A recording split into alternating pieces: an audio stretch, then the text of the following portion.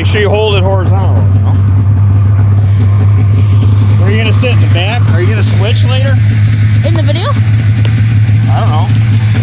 Sure.